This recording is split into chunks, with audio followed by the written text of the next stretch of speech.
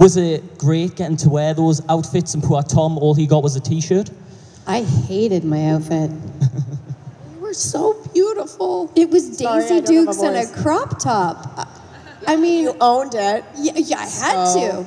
I, but it was like, are you kidding me? I have to be on TV. Like I was, I was young and I didn't have a voice, and I, it was just. I've said this before, and I'll say it. I'm super grateful for the opportunity, but I wanted to burn the wardrobe. Until I think I don't know if it was season eight or nine, I started to be able to cover up a little bit, but um, it would. You just had to own it, you know. And it it is what it is.